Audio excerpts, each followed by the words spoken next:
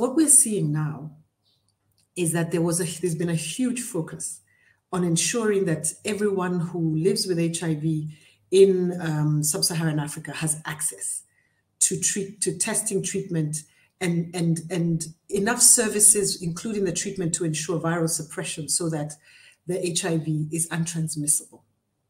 So what we what the data is telling us that in sub-Saharan Africa, 84% in our region, 84% of people living with HIV have access to treatment who are over 15. They have received treatment, and 94% of those who are on treatment have, have been able to keep it suppressed, so it's untransmissible. So it becomes treatment as prevention.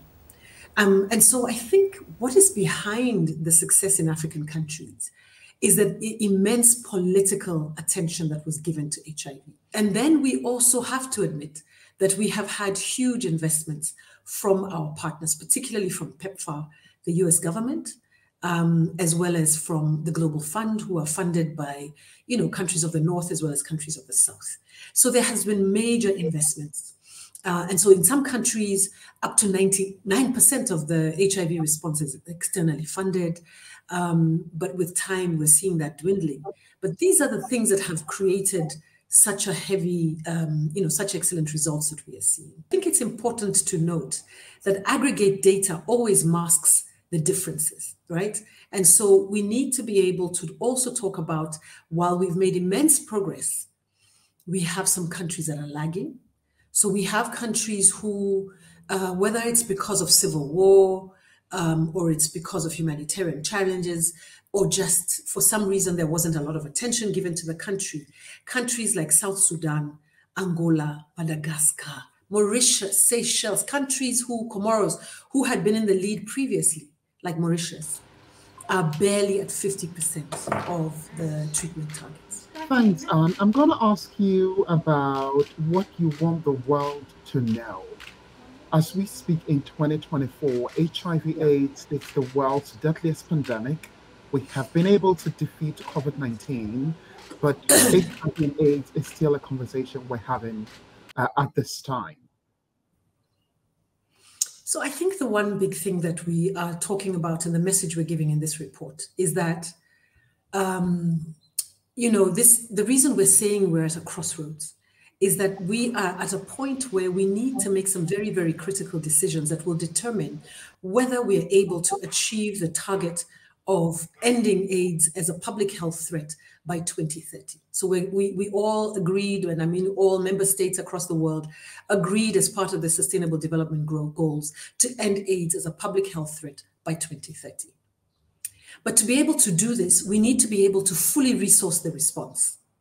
And what we have seen is that there has been shrinking donor resources.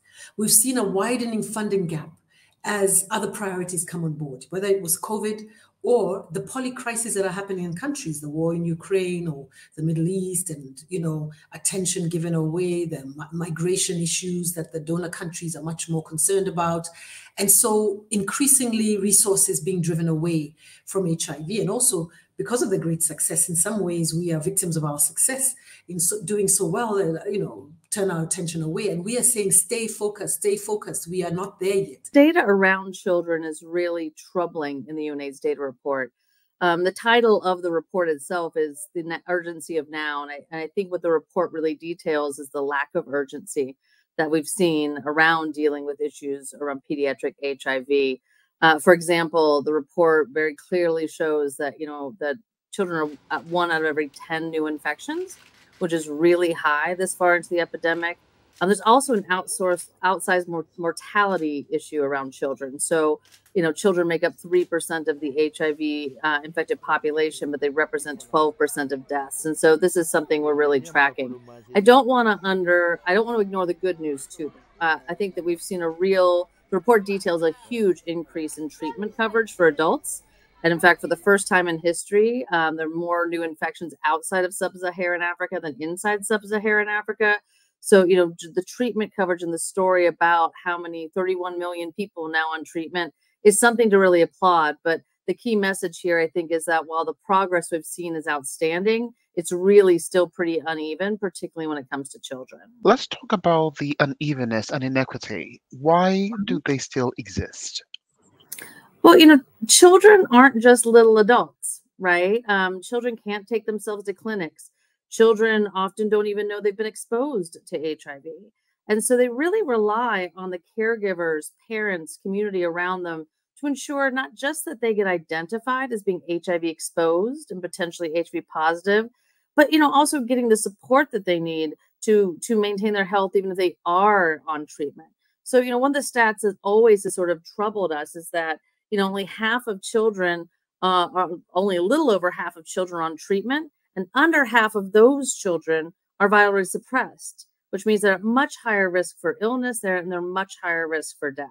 And so it really does take everyone who touches a child's life to sort of take responsibility for making sure that they're getting the, the treatment, the diagnosis, and the care that they need.